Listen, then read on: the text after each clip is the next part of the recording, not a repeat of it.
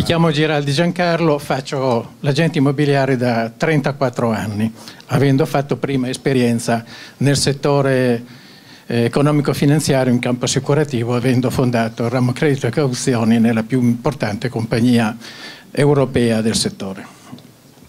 Quindi credo di capire qualcosa di credito. Ho sentito delle cose molto belle. Ho sentito chiedere in maniera molto intelligente da Paolo Bellini una detassazione. Io credo che la detassazione sia importante, ma sia difficile, soprattutto non basti in un momento in cui manca il credito, manca la fiducia, manca il lavoro. Se ne abbiamo una prospettiva perché riprenda il nostro lavoro, il nostro lavoro può riprendere solo se riprende l'economia a livello nazionale. Allora, Abbiamo sentito dieci proposte per gli agenti, io ne faccio un'ultima, quella di fare proposte. Io ne ho una da fare. Sembra una provocazione, non è una provocazione. Conti matematici alla mano ci consentono di dire che se vogliamo una ripresa economica dobbiamo agire sulle famiglie. Le famiglie sono i consumatori noi dobbiamo consentire alle famiglie di poter consumare. È banale questo, però bisogna che ci pensi anche il potere politico. Perché consumino, le cose sono tre. O aumentiamo gli stipendi e ammazziamo le attività produttive che non ce la fanno a pagare di più di quello che pagano. O riduciamo le imposte, le hanno appena aumentate perché siamo alla canna del gas. E allora c'è solo una cosa da fare, analizzare come le famiglie italiane spendono il loro denaro. La voce maggiore è proprio la casa, investe il nostro settore. In Italia abbiamo, dati Istat, 25 milioni di famiglie, abbiamo circa 15 milioni di mutui. Se noi non agiamo riducendo per un periodo lungo, parlo di almeno 5 anni, le rate di mutuo con un provvedimento legislativo preciso ci sono conti matematici che dimostrano che si può fare. Per cinque anni tagliamo del 50% le rate di mutuo, noi creiamo una possibile domanda delle famiglie dell'ordine di 1, 2, anche 4 punti di PIL per cinque anni. Questo vuol dire dare fiato all'economia e creare nuovamente la possibilità di una ripresa dei consumi. Riprendere i consumi vuol dire che riprendono le vendite, vuol dire che riprende la produzione, vuol dire che riprende l'occupazione. Senza questo non abbiamo prospettive né noi nel nostro settore né l'industria italiana che sta morendo, soprattutto la piccola industria. A chi voleva porre questa domanda? Ecco, eh, un secondo. Allora, chiedo questo. Allora, questo studio che ho fatto e che metto a disposizione di chiunque lo voglia, glielo mando via email, è stato presentato anche alla nostra associazione già da tempo, è stato presentato a giornalisti, è stato presentato a uh, persone del mondo politico, eccetera. Tutti, che bello, che bello, che bello, nessuno si muove. Allora, signori, abbiamo qui tre associazioni, siamo 150.000 persone in Italia, siamo a contatto costantemente con tanta gente diamoci da fare. Io lo metto a disposizione gratuitamente, non voglio niente, non voglio riconoscimenti, non mi interessa fare carriera politica, non mi interessa questo. Mi interessa, c'è un'idea, portiamo avanti quest'idea. Quest'idea consentirebbe alle banche di ridurre il contenzioso sui mutui che sta aumentando a dismisura.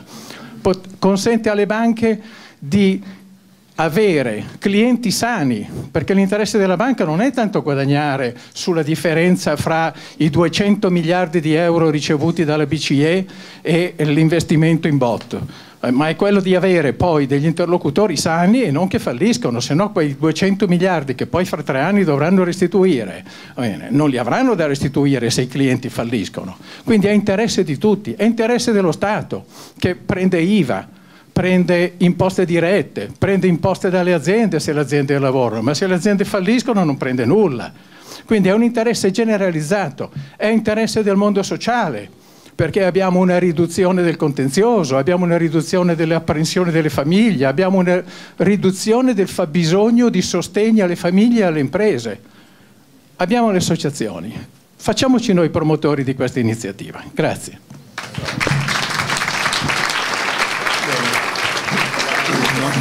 Eh, Roberto Fulciniti, io faccio questo lavoro da circa 22 anni. Dopo la splendida proposta del dottor Girardi, ne vorrei aggiungere una un po' più terra a terra e non diciamo così economico-finanziaria molto fine come quella del dottor Girardi che apprezzo, che è quella che credo che oramai il mercato immobiliare italiano sia maturo per fare questo passo, ovvero di fare un MLS degli agenti immobiliari. Le tre associazioni nazionali divise qui unite non capisco quale sia la ragione per la quale questa cosa non la prendano in mano e non rendano un MLS che serve a tutti noi. Grazie. C'è il signore là. Buongiorno, io sono Giuseppe Campisciano, sono vicepresidente di FIMA Milano e mi rivolgo al giornalista in particolare, visto che il giornalista... Chiamo Pelliccioli. Pelliccioli, Guglielmo Pelliccioli lo so benissimo, leggo i suoi articoli e tanto lei è arrabbiato con noi, tanto io sono arrabbiato con lei. Ecco, sembra giusto. Perché se, se, i suoi articoli... Uno in più per me non cambia molto. No, ma io vorrei che una volta ascoltasse anche le nostre ragioni, perché se continua a fare articoli, uno degli ultimi che ho letto intitolava Pasticceri e pasticcioni, e i pasticceri non erano gli agenti immobiliari, naturalmente noi eravamo i pasticcioni, ecco, la categoria non potrà mai svilupparsi io non ho mai letto un articolo in positivo, un articolo che spiegasse alle persone, alla gente, ai nostri clienti cosa veramente fanno gli agenti immobiliari.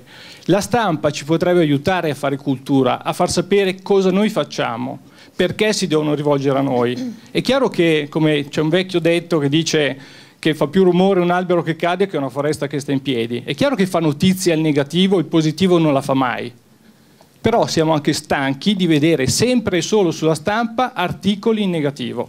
Noi ci siamo più volte proposti di intervenire nelle trasmissioni per spiegare alla gente cosa devono fare per discernere quando scelgono un agente immobiliare piuttosto che un altro e mai nessuno ci ha invitato. Ma quando c'è un problema con un agente immobiliare tutti ci si scagliano addosso. Per quanto riguarda le sue idee la ringrazio, probabilmente da soli non ci saremmo arrivati al decalogo. E un'ultima cosa, un'ultima cosa, consigli a quel suo vicino, all'agente immobiliare, il suo vicino di ufficio, di seguire un corso di homestager, che è una nuova professione che serve proprio ad imparare a presentare gli immobili nel miglior modo per vendere. In questo momento non per vendere a prezzi migliori, ma per vendere in tempi migliori. Grazie. Eh, essendo chiamato in causa rispondo perché mi sembra giusto. Innanzitutto le do una piccola precisazione.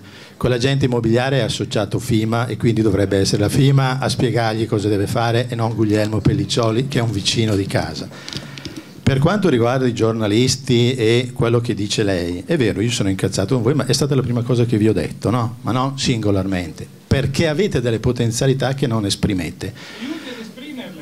Bravo, mi aiuti ad esprimerle. Allora, io due anni fa ho creato un giornale online che si chiama Quotidiano Immobiliare Agency, che è quello che ha letto lei, che mando gratuitamente tutti i giorni a 14.000 agenti immobiliari italiani. 14.000. Vuole sapere, signor Campisciano, quanti lo leggono? Perché essendo online io riesco a vedere quanti entrano, 400. Gli altri 13.600 agenti immobiliari che non si curano di leggere un qualcosa che è fatto per loro, poi non si devono lamentare se la stampa non li segue, abbia pazienza. Campiciano, io mi associo, mi associo a, a questo, questo tuo accorato discorso, ma devo dire, poi alla fine un po' è anche colpa nostra, un po' è anche colpa nostra perché chiaramente eh, abbiamo, abbiamo, una funzione difficile, difficile da poter eh, raccontare a terzi, è difficile da far comprendere quando abbiamo difficoltà a far capire ai ministeri e alle Camere di Commercio quello che noi realmente facciamo. Noi veniamo fuori, scusa, ho tolto un attimo la parola al collega, ma un momento soltanto. Noi veniamo fuori da un attacco idiota del, al mercato immobiliare che me, sta mettendo in crisi in questi giorni tutte le considerazioni, tutte le trattative che noi abbiamo perché un soggetto, presidente di un, di un, di un ente, ha fatto una dichiarazione... Giuseppe Re. No, Giuseppe Roma. Roma, Roma. Roma. Perché ha fatto una dichiarazione priva di, di realtà senza nessun supporto, senza pensare che cosa stava dicendo. Eppure, perché la comunicazione era talmente appetibile, i giornali, i televisioni, tutti quanti ci hanno ricamato sopra. E noi abbiamo uno per uno, Pelliccioli, Asso Immobiliare, Federe Immobiliare, FIAIP, FIMA, tutti quanti scritto, ma il ritorno è stato 0,01 rispetto a quella baggianata che era stata detta precedentemente. È questa la realtà, purtroppo. È un problema, lo so è un problema, però è questa la realtà e noi ci dobbiamo lottare tutti i giorni contro questa realtà. Eh, per cui voglio dire, eh, non ci facciamo il sangue amaro, noi cerchiamo di fare comunicazione, cerchiamo di dare formazione. Io come Presidente devo dire certe volte, quando facciamo email a tutti quanti, facciamo circolari e dopo 15 giorni incontro il collega e dice ma e questo non me lo dite, dico ma guarda l'hai ricevuto questo giorno, questo giorno te l'abbiamo ricordato quest'altro. Cioè, ah ma no, ma sai ho cambiato l'email. Ah ma no, sai c'avevo degli appuntamenti non l'ho visti. No, ma il segretario non me l'ha stampati. Questa è purtroppo la realtà, per cui meniamo pure Pelliccioli quando se lo merita, ma adesso buttargli addosso tutte quante le colpe mi sembra sicuramente eccessivo. Scusate.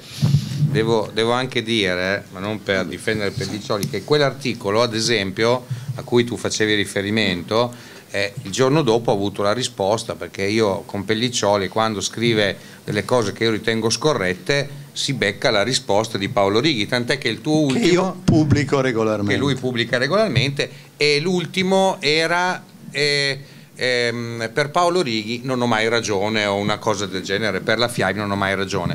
Allora, io mh, non mi appellerei a Guglielmo Pelliccioli che viene qua, ci dice o non ci dice. Guglielmo Pelliccioli fa un mestiere, eh, dice delle cose, può essere contestato, si assume le sue responsabilità. Ma credimi Campisciano, credere a Pelliccioli di aiutarci è eh, strano. Cioè, un giornalista pubblica se tu gli dai le notizie, pubblica se tu hai qualcosa da dirgli. Poi ci può fare la, la lotta contro, ce la può fare a favore. Abbiamo giornalisti che lavorano e ci dicono gli agenti immobiliari sono eccezionali, sono fantastici, casomai perché hanno acquistato un immobile e eh, sono stati trattati bene. Abbiamo agenti immobiliari che ci danno conto perché casomai hanno avuto delle brutte esperienze. Il nostro problema, e lo dico a tutti, è che la nostra è una professione variegata e scendendo nel tecnicismo qualsiasi persona può fare l'agente immobiliare Abbiamo detto prima, fai il corso da 220 ore, fai il corso da 100, fai il corso da 800. Se io entro, e qui la consulta deve intervenire, se un cliente entra in un'agenzia immobiliare, non sa esattamente quale sarà il servizio che riceverà. Se vado da eh, Passuti, molto probabilmente mi farà le ipotecarie le catastali, contro controllerà la conformità, mi dirà tutta una serie di attività. Casomai vado da un altro agente immobiliare onesto, corretto, ma mi dice senta questo è l'appartamento, se le va bene bene e se non le va bene niente. Ci vediamo dal notaio, poi se c'è l'ipoteca, non c'è l'ipoteca, a me non interessa. Allora, le criticità che vengono fuori sono queste. Noi come categoria non riusciamo ad espellere quelli che non lavorano bene, ma sicuramente secondo me dobbiamo farci noi attori di, quindi Campiscià la prossima volta che eh, eh, questo scrive qualcosa che non va bene, segui le mie indicazioni, gli mandi bella, un bel editoriale e lui lo pubblica. Io ci litigo continuamente con, con Pelliccioli, però guarda caso Pelliccioli viene qua. Perché? Perché alla fine è con il dibattito che si cresce. Se ci diamo tutti ragione in 380 come siamo qui, eh, facciamo come quelli che, fanno, che vanno sul fuoco, no? che fanno i, i, i, corsi motivazionali e camminano a piedi nudi, ci diamo ragione tutti quanti e non si cresce. Quindi che Guglielmo Pelliccioli, che non voglio difendere perché è grande abbastanza e lo attacco già abbastanza io, che Guglielmo Pelliccioli dica la sua in quest'ambito, forse più importante perché lo dice qui, e comunque una introspezione, noi in questo periodo la dobbiamo fare. Ecco. Giovanni Soncelli rappresento, sono amministratore di una società che è sul mercato dal 1973. Io ho sentito attentamente eh, i relatori gli interventi e ovviamente eh, tutti condividiamo il periodo difficile. Eh, mi avete anticipato perché la mia domanda era su che cosa si intende fare oltre una lettera di eh, protesta per l'intervento di Giuseppe Roma, direttore del Censis, ripreso dal TG1, da tutti i quotidiani e dal Sole 24 Ore, credo il 19 di aprile. Eh, per chi non lo sapesse, detto signor Retto, che il mercato immobiliare italiano entro il 2012 avrà una flessione dal 20 al 50% sul valore degli immobili. Da quel giorno lì io devo dire che tutte le persone che vengono da noi ci chiedono uno sconto. Io eh, ho un patrimonio importante, cioè un portafoglio importante di eh, immobili sia mandato a titolo oneroso direttamente dalle imprese e il 20% già di sconto sul nuovo non è pensabile. Non è pensabile. Conseguentemente effettivamente nessuno in questo momento tra le poche persone che avevano intenzione di avvicinarsi all'acquisto di un mercato immobiliare stanno aspettando il crollo del 20 e del 50% per poter riavvicinarsi. Per cui una lettera di protesta secondo me non è sufficiente. Un intervento pesante al, al garante della concorrenza, della privacy o chi si ritiene opportuno come turbativa di mercato sicuramente detto signore che non ha i titoli per poter intervenire sul mercato immobiliare va bene però ha i titoli per poter andare evidentemente in televisione ed essere ripreso dai media bisognerebbe prenderlo. Eh, fatta questa, questo volevo ehm, ho sentito l'abusivismo sicuramente Uh, tutti noi avremmo avuto a che fare in questo periodo con tanta gente che i mercati di vacche grasse si sono affacciati al mercato immobiliare, facendo più o meno legalmente, abusivamente la professione di uh, agente immobiliare. Io mi sono scontrato parecchie volte con una realtà uh, di una persona che pubblicizzava, hai mai pensato di vivere in, diciamo, in un C6, chiamiamolo C6, e io rispondevo a me pensato di vivere in un box, cioè eh, cercare di vendere gli immobili che sono eh, come residenziali, che sono accatastati eh, non residenziali, è stata per anni una pubblicità che ci ha eh, sicuramente turbato. E fortunatamente questo signore non agente immobiliare smetterà a breve di fare il, l'agente, cioè di, il pseudo venditore di case e che comunque in ogni caso eh, con, lui non è stata facile. Eh, per quanto riguarda invece il... non ho sentito un accenno su quello che potrebbe essere l'operazione fondi immobiliari. Parecchi fondi immobiliari, la maggior parte, ormai arriveranno a fine della loro vita perché arrivano, sono dieci anni e quindi dovranno alienare il loro patrimonio immobiliare che dovrebbe essere attorno ai 50 miliardi di euro entro la fine di quest'anno e l'inizio dell'anno prossimo e, e, e questo sarà un, a mio avviso un vero tsunami per quanto riguarderà il mercato degli immobili eh, commerciali o produttivi. Eh, per quanto riguarda invece le semplificazioni, purtroppo io devo dire che le semplificazioni che sono una cosa molto bella, eh, oggi comuni, certi comuni prevedono non più ad esempio la, le concessioni per le pubblicità, i cartelloni eccetera eccetera, ma fanno la scia. La scia deve essere fatta online, peccato che io ci ho provato per due cartelloni pubblicitari che mi sono costati di cartaceo circa 3.000 euro di architetti. Eh, mi sono costati il produrli o eh, tre settimane per cercare di collegarmi online con il comune, ho demandato il tutto alla Confcommercio, ci hanno impiegato una settimana due persone e alla fine finalmente dopo un mese tre quattro persone a lavorarci ci siamo riusciti. Il risultato è, è che alla fine che ho dovuto pagare solo 1400 euro di pubblicità ma mi è costato in termini economici molto di più.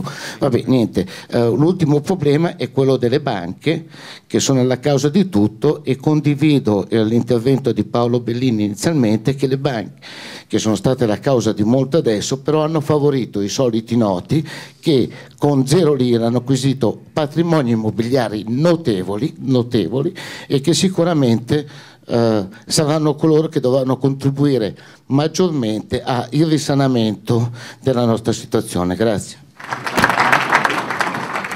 Buonasera, Giuseppe Catania, agente immobiliare. 30 anni che faccio anch'io questo lavoro, lo faccio con passione, con amore e ancora oggi ho tanta voglia di lavorare e continuo a farlo. Sono contento di questa riunione perché sono convinto che la Bolster è stata solo un pretesto secondo me perché eh, questa invece è l'occasione per confrontarci, verificare la situazione del mercato, questa è la verità. Che cosa dobbiamo fare? Non è semplice dire che cosa dobbiamo fare, perché tutti ci riempiamo la bocca, tutti sono grandi professionisti, noi siamo l'ultima ruota del carro. Eh, alla fine siamo tutti in questa fase, stiamo perdendo l'immagine. Abbiamo vissuto negli anni passati del benessere che veniva da solo, senza pensare, abbiamo fatto eh, la cicala, ma tutte le professioni. Il nostro cancro vero, il nostro cancro vero è la corruzione, il malcostume. Noi facciamo una professione che se non ci mettiamo la faccia non si sta sul mercato 30 anni. Come diceva prima Righi, dice eh, facciamo le ispezioni, facciamo... noi le facciamo le ispezioni ma quante cose, abbiamo fatto l'esempio, da dove si va uno interpreta in un modo, uno interpreta in un altro. Noi come facciamo a venire fuori da questa insicurezza generale? E allora passo indietro tutti, passo indietro tutti, perché torno a ripetere, senza professionalità questo lavoro non lo facciamo e allora bisogna incalzare le istituzioni, ad esempio già le nostre associazioni, tutte e tre, perché io non faccio distinzione, il fatto di poter avere le visure online, il fatto di poter avere le visure ipotecarie in, immediatamente. Queste sono cose che valorizzano la nostra professione, però ci devono anche ascoltare. Quando noi andiamo e adesso sentiamo dire la, la, le agenzie delle entrate, diciamo, ogni agenzia ha un sistema diverso, vai in un comune, ogni comune ha un sistema diverso noi, i nostri costi sono burocratici. Come facciamo ad aggiornarci che andiamo in un comune e ci dicono una cosa, andiamo in un altro e ci dicono una cosa? Le nostre associazioni hanno i loro limiti, cercano di documentarci. Voi pensate che sono le 200 ore che ci rendono professionali. La stragrande maggioranza di noi o è diplomato o è laureata e ha voglia di imparare. Volete che vi faccia qualche esempio sui giornali? Io ho, ho dovuto contestare a, che sono abbonato al giornale del Sole 24 Ore su alcune cose sulla cedolare secca. Mi hanno risposto educatamente, grazie, correggeremo. Si è verificata la stessa cosa col Corriere della Sera, perché io le leggo. Come viceversa, io leggo Pelliccioli, ha delle provocazioni, però ce le fa, è un motivo di spunto. E allora, per essere propositivi, per essere propositivi e crederci veramente, ma dobbiamo rivedere tutto il sistema produttivo, tutta la catena produttiva, dal costo del terreno al costo di costruzione, ma alla fine quale sarà il finale? L'utile, bisogna che decidiamo quanto deve essere sto utile, perché allora possiamo effettivamente ridurre i costi delle case, perché vediamo l'housing sociale lo fa, lo fa già, costruiscono a 1200-1300 euro al metro quadro, a Milano hanno delle esperienze e questo è quello che vogliamo, perché poi bisogna che ci decidiamo che cosa vogliamo fare da grandi. Possiamo pensare di avere sempre uno sviluppo economico illimitato? E non lo so. Se, se, continuiamo a dire cos'è il pilo, cos'è quello, cos'è quell'altro. Sicuramente eliminando la corruzione e dando strumenti, e dando strumenti al catasto, al comune, all'agenzia delle entrate che perdiamo giornate per stupidate. E le nostre associazioni dovrebbero farsi valere. Io gli ho detto non siamo nemici, noi siamo cittadini, non sudditi. Quando andiamo in un comune ci devono rispettare e qualcuno l'ha detto, non ci possono solo dire di fare, di, di fare l'antiriciclaggio, fa, andare a registrare perché siamo, siamo, eh, siamo, in solido con la cosa e poi andiamo a dire ce l'hai la delega o, o stupidate di questo genere. Mi sono voluto sfogare, ma credetemi, io credo in questo lavoro e molti di noi, al di là di quello che lo fanno con amore, difficile stare sulla piazza senza far bene questo lavoro, perché puoi fregare una volta la persona, ma la seconda volta non viene più e ti fa... Quando sbagliamo, quando sbagliamo, le conseguenze sono... non possiamo sapere quante sono le conseguenze quando qualcuno parla male di noi. Grazie, scusate. Ma molto più velocemente perché faremo interventi molto brevi perché è questo il convegno, cioè ognuno eh, non è che dobbiamo venire qua a fare il comizietto perché tanto ci sentiamo quasi sempre, voglio dire, però è importante capire anche queste cose. Allora, sicuramente il tema è unico, c'è la crisi, la politica non dà risposte corrette e abbiamo difficoltà a relazionarci con la pubblica amministrazione, con l'attività e sicuramente la nostra categoria in termini generali è, deboli, è debole, sia nei confronti delle istituzioni che nel sentire comune delle persone. Questo è il quadro. No? Giraldi all'inizio ci diceva facciamo una moratoria sui mutui per i cinque anni. Idea fantastica, correttissima, che approvi in pieno. C'è però poi anche la proposta dei due sottosegretari di togliere le tasse per l'acquisizione degli immobili. Ci sono tante proposte che possono essere adottate e casomai con determinati benefici. Il problema oggi del rapporto con la politica, che ancora c'è, è che nel momento in cui noi ci occupiamo del settore immobiliare o del settore industriale e facciamo qualcosa, e questi politici forse faranno qualcosa per un determinato settore, mettono il cerotto a una ferita di un corpo malato che sta morendo. Allora qual è il punto? Che qui, quando, se in questo paese sono 30 anni che si parla di riforme, sono 30 anni che si parla di riforme, sono 30 anni in cui si parla di riformare il fisco, di riformare l'architettura dello Stato. Allora noi paghiamo l'IMU, paghiamo l'IMU, ma se tu fai un, un trust immobiliare e lo sposti a Madeira, tu non paghi nulla voi pensate che stiamo ancora qua a menarcela con le grandi proprietà e con, e con la patrimoniale? L'IMU è già una patrimoniale, in questo paese la patrimoniale c'è già, diciamolo forte, e conta 24 miliardi. Io non so ancora chi oggi voglia parlare di, una, di un'altra patrimoniale. Allora vuol dire affossare il mercato. Punto fondamentale è che se qui non si riorganizza veramente lo Stato e non con tutte queste eh, meno parlamentari, più parlamentari, prendano mille euro in meno, questo è fumo negli occhi per noi, perché gioiamo se un parlamentare prende 5.000 euro in più, lo facciano ma non è questo il risparmio.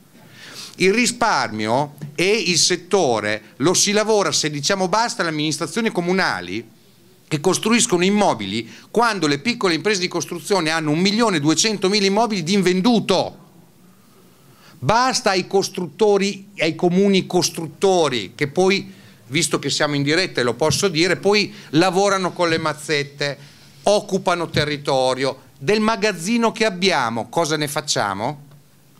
Ah, questo è un altro grande tema molto importante perché qualsiasi bottegaio, negoziante, qual qualsiasi persona sa che se non svuoti il magazzino non puoi ripartire.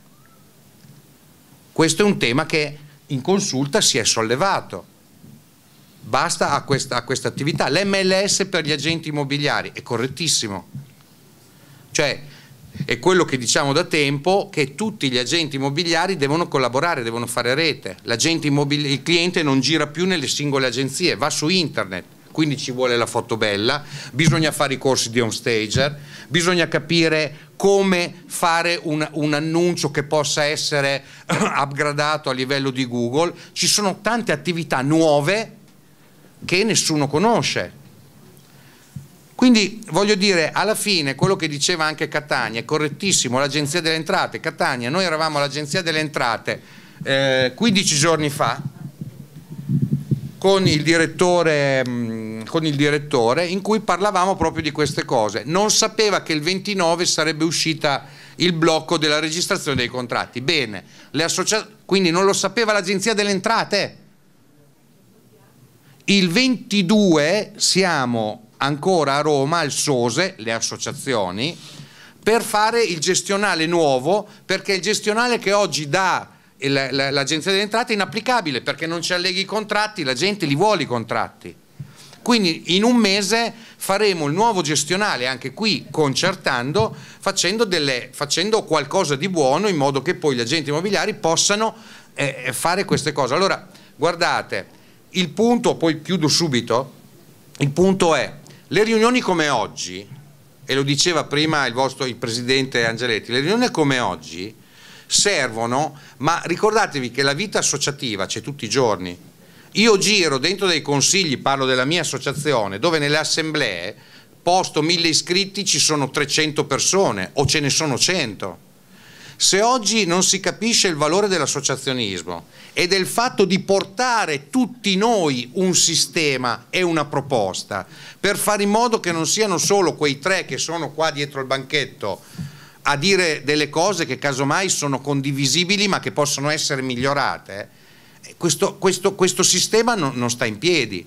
Cioè questa crisi ci porta anche al fatto che ognuno de, delle persone che è qui dentro deve dare il proprio contributo e il presidente nazionale, io parlo per me, è un operatore, è uno che deve raccogliere le cose che vengono fuori e poi metterle in atto.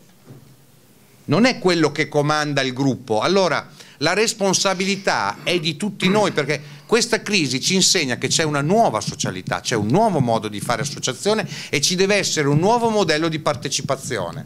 Quindi io ho preso nota di tutte queste cose, naturalmente le elaboreremo, sentiremo delle altre, però l'invito pressante che faccio è confrontiamoci, confrontatevi nelle vostre associazioni, confrontatevi tutti i giorni perché è necessario confrontarsi per crescere, altrimenti non ne usciamo. Diciamo che l'esempio che Meridio. Paolo Righi ha portato, quello dell'Agenzia delle Entrate, è talmente eclatante, eh, l'abbiamo visto insieme, eh, in cui questo sistema purtroppo non ha connessioni.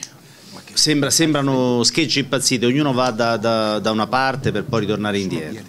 Le difficoltà sono proprio queste eh, quando io parlavo di, di, semplificazioni, parlavo proprio della vita di nos, tutti i giorni, perché il problema del, del, dello striscione, del, dell'insegna, sono problemi che eh, è vero che li, li facciamo, li affrontiamo una volta ogni tanto, per lo striscione e per l'insegna, ma poi una volta ogni tanto ce l'abbiamo per il personale, una volta ogni tanto ce l'abbiamo per il registro delle, dei, dei preliminari, una volta ogni tanto ce l'abbiamo ogni settimana questi problemi e purtroppo non si sta facendo nulla per semplificare. L'MLS, MLS per me è uno di quei servizi di cui accennavo prima dove dobbiamo fare uno sforzo di razionalizzazione, di eh, centralizzazione o di condivisione massima. Eh, cos'altro, cos'altro aggiungere? Quando parlavamo prima di comunicazioni, il, la, la, bomba del Censis che ci ha danneggiato, fra l'altro adducendo come unica scusa l'IMU, come se uno decidesse di comprare o di vendere una casa o di non, di non comprarla perché avrà l'IMU, che saranno 500 euro, 1000 euro al mese, cioè, o ce l'hai i soldi per comprarti la casa o gliela fai a indebitare, scusate l'anno, ma non è che per 500 euro l'anno tu ti vendi una casa, ti vendi una casa se hai perso il lavoro, ti vendi una casa e non gliela fai pagare il mutuo, non è che ti vendi casa perché arriva l'IMU. L'IMU è, una, l'IMU è un, la goccia se il tuo bicchiere è già strapieno. E quello che siamo riusciti a fare, eh, io ringrazio anche il mio presidente di Roma, che ha perso quattro ore con un giornalista di eh, servizio pubblico Santoro per convincerlo a non mandare il giorno dopo un servizio da Santoro sul crollo degli mutui del crollo dei, dei prezzi degli immobili. Perché era partita una, una, trasmissione in cui fra i vari argomenti si doveva dire signori fermi tutti non comprate più case perché vi stanno crollando i prezzi addosso e quindi fargli capire che il problema non era il calo o il non calo dei, dei, dei prezzi. Il problema è l'impoverimento della, della, nostra società. Il problema era l'impoverimento di tutti quei soggetti che pensavano di aver raggiunto l'obiettivo della loro vita e si ritrovano un, un pugno di mosche. Era il problema di buttare ulteriore depressione in una situazione in cui nessuno di noi riesce a capire che cosa può fare per la società A che cosa saremmo chiamati, volendoci pure accollare, metterci su, sulle spalle uno zaino pesante per la società? Oggi il problema non sono l'IMU, non sono i tassi o le banche, il problema è la fiducia nel futuro. È questo che oggi ci stanno togliendo. E allora se togliamo anche la fiducia nei soggetti che hanno investito nella propria casa, dove uno Stato sono vent'anni che non ha fatto assolutamente nulla per il mercato delle locazioni, dove uno Stato che fatto, è stato assolutamente assente in una qualsiasi tutela per le locazioni dei, ceti bassi, Un uno Stato che dal 78 con l'equo canone e con l'investimento degli enti su, sui titoli di Stato anziché sugli immobili ha impoverito quel patrimonio, quel serbatoio che c'era per consentire a chi non poteva comprarsi casa di avere una casa in affitto. Questo oggi è un serbatoio che si è creato, si è costituito soltanto con, quelle, con i risparmiatori italiani, quelli che hanno comprato il secondo, il terzo appartamento e che se lo tengono affittato. Io ho letto l'altro giorno un articolo che mi ha fatto venire una rabbia addosso, perché era quando hanno dichiarato che il 5% degli italiani possiede il 25% delle case, capito? Che sfruttatori? Sono dei benefattori perché quello, gli altri 25, 20% che non utilizzano l'hanno messo a reddito, l'hanno messo a disposizione della, della società.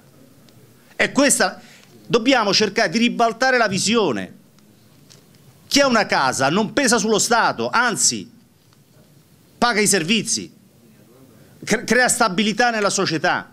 Chi ha una seconda casa e l'affitta fa una cortesia allo Stato, perché lo Stato in questo spazio è completamente carente. Scusate, ma eh, è un argomento che mi, mi prende parecchio. Sì, perché purtroppo andiamo poi a focalizzare l'attenzione su piccole cose quando di fatto è il sistema Italia che ha, ha qualche cosa che, che non riusciamo a capire dove possiamo intervenire. Scusate. Vi do una bella notizia, eh, vi accennavo prima alla, alla riforma del lavoro, no?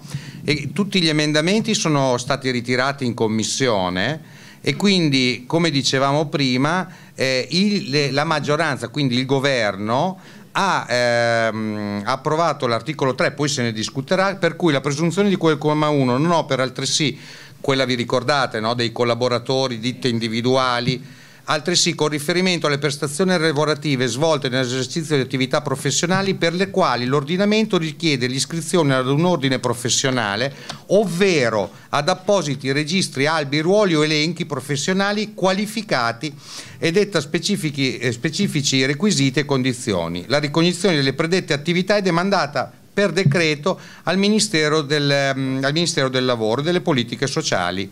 Quindi voglio dire la maggioranza ha riconosciuto il lavoro che abbiamo fatto per questa categoria e quindi sono escluse dalla riforma del lavoro era esclusa la nostra professione. E quindi una buona notizia in questa, in questa giornata di lacrime poi casomai siamo ce la meritiamo insomma. Cioè, qualche genio la cambierà però per adesso siamo ne volevo solo puntualizzare una cosa che ha detto il signor Soncelli parlando dei fondi immobiliari eh, e mi è sembrato di capire che fosse preoccupato su che fine faranno i 45 miliardi di immobili che sono all'interno dei 147 fondi immobiliari che ci sono in Italia. Allora, premesso che questi 45 miliardi è vero che sono in scadenza, ma ce ne sono 3 quest'anno, 10 l'anno prossimo, 7 o 8, ma non è questo il problema vero problema è un altro. E io ho fatto un po' di tempo fa il conto delle commissioni dei fondi immobiliari e ho fatto una piccola tabella su quanto questi fondi qua si trattengono per, per loro. Quello più esoso è il 30%, cioè vuol dire che l'utile del fondo il 30% se lo ottiene la società. Allora, detto molto francamente, che cosa succede adesso quando sono in scadenza? Pare che hanno chiesto tutti il periodo di grazia di tre anni, ma succederà una cosa semplicissima, che se loro devono venderli a qualsiasi prezzo li possano vendere, loro li vendono, perché chi resterà col cerino in mano? Sarà il cutista, non sarà certo l'SGR, si è già guadagnata per i 10-12 anni precedenti quello che poteva guadagnarsi. Ma c'è una seconda possibilità che forse è ancora più perversa, è che questi fondi passino dal fondo A al fondo B continuando questo meccanismo perverso, per cui eh, depauperandosi ulteriormente. Ecco, mi sono incavolato con, gli, con, la, con i costruttori, con gli agenti immobiliari, con le SGR, prima della fine ci sarà ancora qualcuno. Trovare una fidanzata no, eh? Mm. È una buona idea, grazie del suggerimento. Questo per dire che uno fa il giornalista, ce le va anche a cercare le rogne, potrebbe stare tranquillo. La giornata deve essere una giornata operativa, l'abbiamo detto fin dall'inizio, e quindi credo che debba terminare con dei buoni propositi. Allora, i tre presidenti, che mi sembrano quasi i tre... come si chiama? No, no, no, i tre... I tre, amigos. I tre amigos, là, eh, i, i, tre tenori, ecco, che mi venivano, oggi sono qui, devono prendersi degli impegni. Allora, mi pare che le provocazioni vengano, ehm, vadano su tre grandi binari. Uno, dovremmo fare immediatamente, Valerio Paolo, un incontro con ABI e il Ministero del Tesoro sulle rate dei mutui delle famiglie sulla casa. La casa è tassata sopra ogni limite, l'IMU qualcuno non, non, non eh, eh, eh, gli verrebbe voglia di non pagarlo perché tanto dice sono ipotecato che se la paghi la banca perché così almeno io non ho questo impegno, ma non sa che poi le conseguenze sono peggiori. Ma al di là delle battute c'è una sostanza, c'è una verità. Noi dobbiamo puntare, come diceva il nostro amico Girardi, a chiedere, e credo che sia il momento giusto per chiederlo, a chiedere la riduzione site simpliciter del 50, del 30, del 40, non lo so, ma comunque delle rate delle famiglie con prole, senza prole, non lo so, diamo dei principi e dei parametri su una moratoria vera. Voi siete andati in banca a chiedere sulla moratoria delle imprese, sulla moratoria? Bene, te lo fanno per piacere, perché sei un buon cliente e ti dicono, beh, quante rate hai pagato? Vabbè, vuol dire che, ah, vediamo, i tuoi 20 anni li hai, no, magari lo portiamo a 25, poi la banca ti rimette in sesto il tasso di interesse o meno. No, noi dobbiamo tentare col nostro peso unito di portarci a chi di dovere. L'ABI ovvio che va affrontato, e vorrei dire una cosa per Liccioli, prima quando parlavamo di numeri, lui mi ha parlato del, 40, del oltre il 50% della, della, riduzione della domanda di mutuo, io ho la fonte Euric, Euric su dati CRIF che mi dava il 45, um, un, un, articolo 2 di oggi parla del meno 47, io vi dico che l'ABI parla di un più 3% sui prestiti per l'acquisto della casa.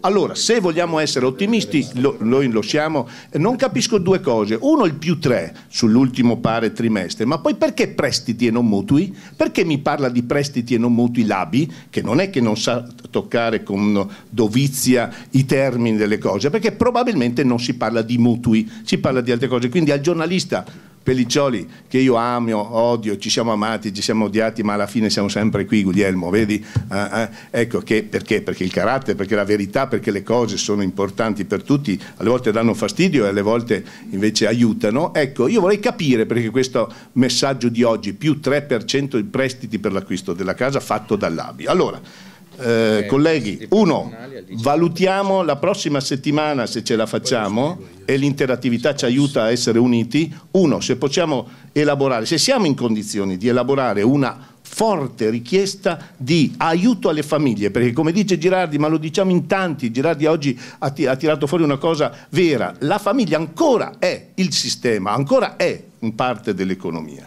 Due, al garante e all'antitrust la FIAP si ricorda bene cosa ha pagato all'antitrust, vero, per, per, colpa dell'antitrust, per quella favola che ci dicevano che eravamo in un cartello e vi garantisco e ve lo dico e l'ho sempre detto che noi non abbiamo mai fatto un cartello, ma ci eravamo adeguati a indicare ai nostri associati una provvigione chiara, non superiore a non dobbiamo uscire da quel binario, state su quei parametri, dicevamo noi. E questo ci ha eh, cagionato delle multe, sapete bene, perché si diceva che noi chiedevamo di uniformarci tutti al 3% sulle provvigioni, se vi ricordate. Ecco. Su questo, perché oggi non torniamo a quel tavolo, anche appunto per chiarire gli aspetti che la questione Roma, vero si chiama Roma quello del Censis, ha sollevato e quindi l'amico del eh, milanese che è là in fondo, che mi pare che che si chiama Soncelli, giusto? Ecco, ha ragione quando dice che qui si rischia la turbativa di mercato quando si vanno a dire queste cose ed è un reato la turbativa di mercato. Io non ho visto questi cali, devo essere onesto che in larga parte d'Italia il consumatore non solo vuole il prezzo migliore ma lo sconto te lo sta chiedendo per il peso che ha la sua liquidità, per il peso che ha il fatto che lui compra. Anche in questo noi potremmo presentarci e qui Valerio con grande piacere, no? tutti quei soldini che ci hanno fatto spendere, in modo tale da avere... Ti do, ti do una... un... Prego, precisazione scusate, magari, su questo magari. argomento che abbiamo già affrontato perché chiaramente è la prima cosa sul quale eh, avevamo focalizzato la nostra attenzione. L'interpretazione però è che eh, turbativa di mercato, per essere diciamo, accusati dalla eh, garante per la concorrenza come turbativa di mercato, occorre che il soggetto abbia un interesse nel mercato. Per cui se quel ragionamento, se quella buttata, anziché averla fatta il Censis, Roma, eh, come presidente del Censis, l'avesse fatta eh, Lance, allora sarebbe stata considerata turbativa eh. di mercato. Eh. Essendo un istituto indipendente, non ha eh, convenienza o vantaggi o svantaggi nel fare un intervento di questo tipo e eh. quindi non è perseguibile se no era la prima strada che volevamo fare. Va bene, io comunque dopo. un confronto lo andrei a fare per mettere chiaro sia alla stampa sia alle istituzioni che andiamoci piano a lanciare chissà quali tipi di eh, allarmi. Al governo, noi dobbiamo presentarci al governo inteso come il Ministeri di riferimento proprio per ribadire il ruolo degli agenti immobiliari, lo ha detto anche Pelliccioli che è tutto dire e quindi il ruolo dell'agente immobiliare oggi è un ruolo che è lasciato un po' in parte, invece noi dobbiamo capire capire che questi nostri soggetti, e Valerio, credimi, l'ha detto un signore Catania, mi pare che ha parlato prima, non, non, noi siamo scolarizzati, guardate che quasi la metà dei nostri operatori hanno la laurea in mano, quindi ehm, dopo c'è un'altra metà che probabilmente eh, no, ha comunque una sua scolarizzazione, ci siamo tutti noi che abbiamo bisogno di aggiornamenti continui, questo è verità. Quindi sostanzialmente direi confrontiamoci, dico la prossima settimana, per far tenere alto l'interesse verso questa categoria. Io voglio dire tre cose, eh, Guglielmo, se me lo permetti. Uno, abbiamo in, in sala qui il presidente della della mm, nazionale di calcio degli agenti immobiliari che è sempre distratto, che si chiama Jerry e parla là in fondo, comunque vi ricordo che c'è questa nazionale formata da FIAI per Fimana, ma sei distratto in continuazione, questo spot no, eh, eh, ecco. e quindi ricordatevi che esiste questa realtà che gira l'Italia e gira anche il mondo. Io grazie a loro ho vissuto a New York un non so che tipo di torneo, un torneo incredibile fatto appunto con gli industriali, con eh, gli agenti immobiliari, con cinque nazioni. Ricordatevi che esiste una nazionale che fa ovviamente della beneficenza continua. Ricordatevi che esiste, ho visto una volta Righi in pantaloncini corti che era bellissimo da vedere quel giorno, non so perché, e quindi direi teniamola buona quella sì, cosa lì.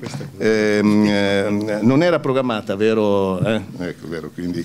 ecco, io vorrei anche, se mi permettete, fare un passaggio. Abbiamo parlato di tante cose, ci siamo confrontati, abbiamo visto che il nostro è un parterre eh, limitato e via, anche questo non è preparata, ma volevo ringraziare Elio che è qui, perché mi ricorda un grande che si chiama Giovanni Gabetti, che io ho conosciuto, che è suo padre, è la prima società che merita un applauso che da Torino diceva sempre con i calzoncini corti si è portato poi a conquistare un mercato, un mercato eh, che ci ha portato ad avere un'azienda, la prima che nell'intermediazione si è fatta quotare in borsa, la prima che ha strutturato un'azienda, la prima che ha, ha saputo eh, far, fare il salto di qualità dal vecchio mediatore, diciamo così, a un agente un po' più raffinato, un po' al quale richiedere più cose. Ecco, io volevo proprio ringraziare te, la memoria di tuo padre, ma anche proprio la Gabetti in questo, eh, fuori da ogni schema, tu lo sai come sono fatto io, proprio perché riconosco a questa società una grande capacità, dalla quale poi sono eh, a ricaduta nate tutte le realtà che conosciamo e quindi volevo ribadire un concetto agli amici che mi hanno così preceduto, un concetto che bisogna tentare di amalgamare, il buono che c'è in ogni realtà, l'indipendente, scolarizzato, preparato, che partecipa a queste situazioni, è di certo l'agente immobiliare a cui le famiglie si affidano. Eh, perché molti si affidano a Paolo Bellini? Perché ritengono che sia bravo. Io faccio l'agente immobiliare, lo faccio tuttora e quindi ho piacere quando uno mi sceglie perché eh, gli devo risolvere dei problemi. Eh? Dall'altro ci sono delle aziende strutturate che fanno dell'immagine, della tematica, dell'organizzazione, della formazione la loro qualità, la loro differenziazione. E qui abbiamo in Italia dei gruppi che sono leader in Europa eh, per quantità e, e, ovviamente quando si è in tanti ci sono anche tanti problemi alle volte, ma comunque abbiamo il, il primato di una realtà che è Tecnocasa, che è uno dei primati a cui tutta Europa ci invidia ed è una realtà che si sta espandendo in tutto il mondo. Ve lo dico perché è stato bersaglio questa realtà di grandi critiche. Oggi eh, vi devo dire la verità, tesoro, virtù, sono cresciute queste realtà, come sono cresciute altre realtà come la Toscana immobiliare, ma come la professione, ma come tutta la realtà. Io non voglio fare... No, ma non è la pubblicità. No, no, ma vi spiego, vi spiego, vi spiego, no, vi spiego perché, se avete, vi spiego perché oggi prendendo questa, prendendo questa torta, vede, che è pubblicata in, in vari siti italiani, eh, ho cercato di capire come era divisa il nostro territorio, il nostro mondo. E il nostro mondo è diviso fra realtà indipendenti che vi ho detto prima al 90%, al 10% delle realtà che stanno spingendo in avanti la professione e questo vedere spingere in avanti la professione vuol dire anche riconoscere a tutti noi la capacità di andare avanti. No, scusate, devo Ora, no, lasciami, no, lasciami finire, okay. poi dopo fai tutte le critiche che vuoi. Volevo terminare anche questo mio intervento ringraziando eh, la, vorrei dire colui che ha permesso che questa realtà si potesse eh, realizzare, cioè la consulta, la consulta sapete è un tavolo comune di eh, tre associazioni oggi, ma quando fu ideata da Luciano Passuti che è qui, mi credo che al tavolo ne avesse chiamate 18 di, di associazioni, poi si sono formate le tre associazioni riconosciute dal Ministero perché hanno il requisito della diffusione su tutto il territorio nazionale. E dicevo che anche per Luciano questo potrebbe essere oggi una giornata interessante, quella di riprendere i messaggi, i discorsi e i dibattiti fra le tre associazioni che sono diverse tra loro e nella diversità vogliono trovare un messaggio comune. Quindi, diceva Voltaire, io lotterò tutta la mia vita per difendere la tua idea anche se non la condivido, sappiate che questo è il principio del tavolo della consulta. Dobbiamo confrontarci per trovare momenti di incontro per partecipare a situazioni più gravi. Io la prossima settimana vorrei fare qualcosa di concreto al governo, al ministero, all'ABI, in quelle realtà che ci hanno provocato di fare. Grazie. Una piccola precisazione, eh, eh con riferimento a quei dati bancari che diceva eh, Paolo Bellini, che non capiva perché le banche dicono che sono cresciute del 3%, certo. quando invece abbiamo detto tutte e due che sono diminuite del 50%. Attenzione, le banche ragionano per stock, non per flussi. Quindi vi faccio un esempio banalissimo. Se in questo momento il, tutti i mutui erogati dalle banche negli ultimi 15 anni ammontano a 100 miliardi, è un esempio, eh? e se loro quest'anno ne erogano 3, passano a 103, ne scadono 2 e aumentano comunque di 1, ma potrebbero aver erogato solo 3 anziché 10. Bisogna stare attenti a capire i messaggi che vengono dati. Le banche ragionano per volume, quindi il volume tendenzialmente, siccome sono di più i mutui che vengono dati di quelli che vengono eh, chiusi per, per scadenza, tende a crescere. Però il flusso sono quei dati che abbiamo detto prima. Paolo eh, ha detto delle cose come sul mercato, eh, ma eh, questo è il fatto che in Anama ci sono rappresentate delle, delle, catene di franchising e delle persone. Io come FIAIP eh, rappresento tante agenzie immobiliari, grandi e piccole, e quindi chiaramente faccio più fatica a dire il nome di 12-13 mila persone eh, è importante stabilire che sul mercato ci sono vari modelli organizzativi che non vanno colpevolizzati, però mi sembra chiaro che la crescita del mercato del nostro settore avviene nelle piccole agenzie come nelle grandi, nelle imprese familiari che casomai sono da 50 anni sul mercato e sono tre generazioni che studiano, lavorano e che ugualmente portano alla crescita di quello che è la nostra professione. Quindi eh, è chiaro che il Presidente Bellini parla delle sue realtà che ben conosce, ma la consulta è proprio questo, l'incontro, a volte, e ve lo dico, molto difficile e chi mi conosce sa quanto io sia fumino e quindi mi sento di rispondere in questo, to, in questo tipo, cioè non vorrei che si passasse dal colpevolizzare i franchising, adesso i franchising colpevolizzassero le piccole imprese. Tutti hanno la propria dignità, tutti lavorano e quello che conta è essere onesti senza fare troppa pubblicità. Grazie. Sembra, mi sembra antipatico che non aggiunga qualche cosa, ma devo dire io questa differenziazione eccessiva sia che fa Paolo Bellini sia che fa Paolo Righi non la trovo, ma non la trovo per un semplice motivo, perché parlando, eh, posso fare il nome di Tecnocasa, quindi, ma non, non assolutamente in maniera denigratoria, io non vedo Tecnocasa come una struttura, perché la struttura franchising è un niente.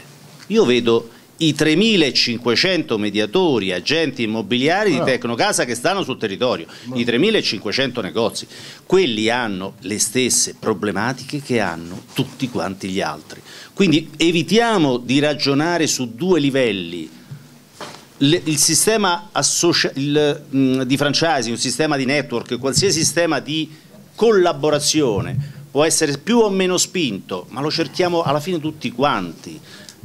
Io devo stare attento, noi vogliamo stare attenti alle problematiche di quei 3.500 colleghi che tutte le mattine alzano la loro serranda e mettono le etichette verdi.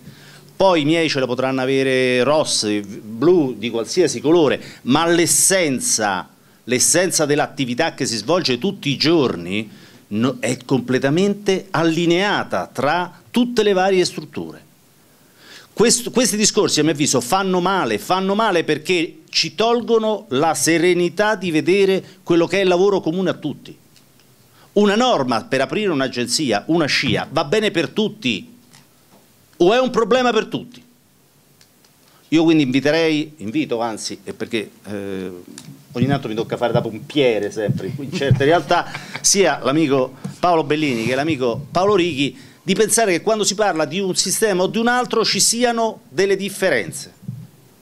Eh sì, ma per fortuna che è tutto registrato, nessuno ha parlato di differenze, io solo non ho voluto parlare del tavolo organizzato da FIMA con tutti i franchisor d'Italia, ho, ho voluto solo dire che esiste un mondo formato da varie realtà e vanno valutate positivamente soprattutto le diversità di ognuno per fare discorsi comuni. Quindi io vi ringrazio, e Valerio, e ti ringrazio molto di quello che stai dicendo.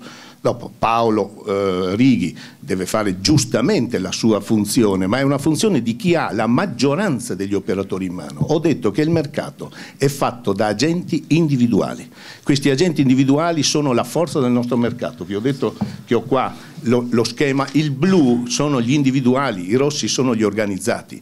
Però non dobbiamo dimenticare che il mercato è fatto da entrambe le realtà che hanno il di buono e di meno buono in, in ugual misura. Ma non, nessuna voglia di fare pubblicità, è solo per dare una realtà. Se poi ho parlato di Giovanni Gavetti e questa è pubblicità, me ne prendo no, la colpa no. e, e, e, cosa volete che vi dica? Eh, eh, eh, avevamo un rapporto che era fuori da ogni... ok, eh, vi ringrazio per l'attenzione, siete stati molto pazienti, ci sono state anche delle critiche, io più di tutti, però scusate.